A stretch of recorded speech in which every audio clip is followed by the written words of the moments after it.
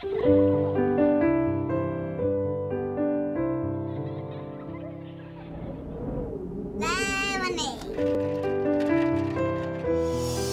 is a story about a brave little girl. She had pretty blue eyes and a head full of curls. She's amazing from the day she was born. When you looked in her eyes, and they're the brightest blue. Mommy. Hi. My name is Alex. Something was wrong. She was not well. Things, Things were not, right, her parents could tell. About nine months on, I thought there was something wrong with her. I feel bad. You feel bad? The doctor looked her over and said she is sick. Alex had a disease called neuroblastoma. It's a very rare cancer. Alex was brave and strong and tough, but still the medicine wasn't enough. I Good. feel good. You feel good? I feel bad sometimes. We knew the reality of neuroblastoma and that she she probably would not survive, not survive, not survive. What can I do to help myself and others too? And then she said, I'm gonna have my lemonade stand. And there was cookies and there was lemonade. And there was pizza. I raise money. For what?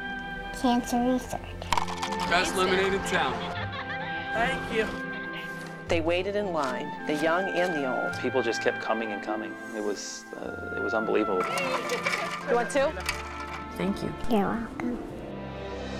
Everyone wondered how Alex's story would end. Nothing prepares you at all. You know, it's harder than you would ever think. But it feels like your heart is broken.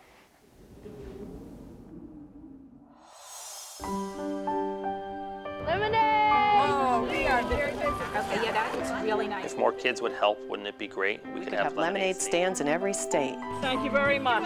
Just a donation, yep. Liz and I thought that probably the lemonade stand would just go away. But it took off completely and stands started popping up all over the place. Sold lemonade and made $300. We raised a total of $500. We raised $53. They had raised lots of money for the cure that was needed. To me, it is astonishing what a four-year-old created that has helped literally keep my son alive. A couple of the chemotherapies I've been on probably never would have been created without her. We would just thank her from the bottom of, of our hearts. It's helping people. Alex and a lot of other angels are rooting for us.